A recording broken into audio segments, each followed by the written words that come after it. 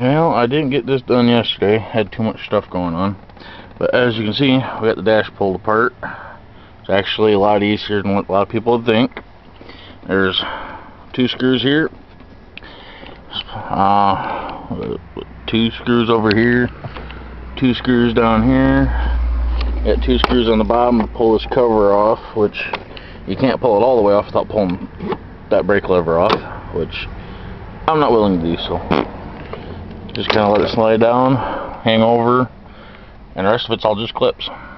So, let's see. I just have you hold the camera. Well, let's slap this back real quick. Hardest part's getting around dang tilt columns. Crap. And then, of course, the wires are always so short.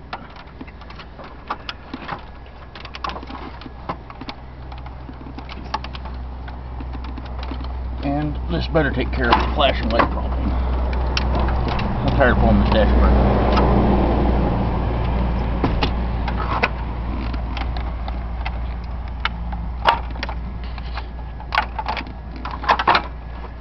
And then just kind of line it up.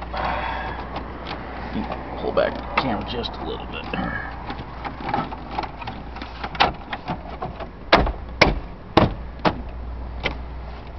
That's about all there is to it. So, let's see. I think everything's working. The headlights on?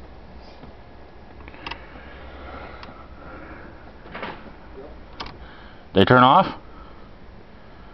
No strobe light? Okay. It's fixed. No more strobe light effect.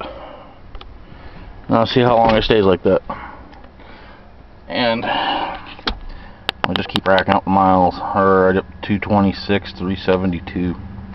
Well, last 250 miles on this tank almost already.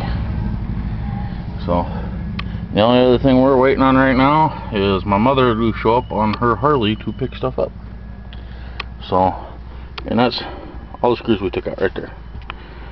Two, four, six of them. That's it. And then somebody else gets to clean the van today, because I ain't doing it. So, y'all take care. Have fun.